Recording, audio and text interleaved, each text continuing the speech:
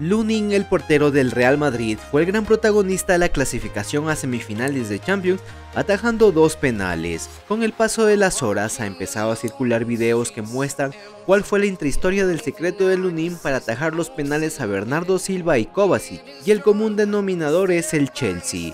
Suena raro, pero podríamos decir que con ayuda del Chelsea, el Real Madrid ha eliminado al City de Guardiola. La tanda de penales empezaba con el fallo de Modric que no podía creerlo, pero Lunin tenía un as bajo la manga. Durante la preparación de los penales, Lunin tenía una charla con Kepa, el portero suplente del Madrid, donde se evidencia que el ex Chelsea conocía a Bernardo Silva. En la tanda de penales de la Carabao Cup, Bernardo Silva marcaba el penal contra Kepa y elegía la mitad mientras Kepa se iba a un costado. El ex Chelsea se acordó de Silva y alertó a Lunin, quien se quedó parado y atajó el penal del portugués, que pateó en el mismo lugar que en la final de la Carabao Cup. Para el segundo penal atajado que le dio la clasificación al Real Madrid fue contra Kovacic, también otro ex Real Madrid y ex Chelsea, a quien Rudiger lo conocía muy bien.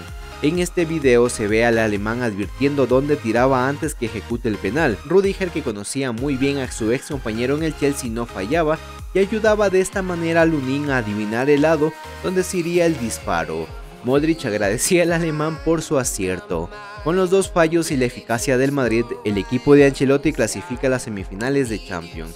Durante los festejos, Modric tuvo un tremendo gesto de gratitud celebraba con sus compañeros, pero durante el festejo regresó a ver a Lunin y corría hacia él para agradecer al héroe de la noche, especialmente porque Lukita falló su penal y Lunin estuvo para salvar a su equipo.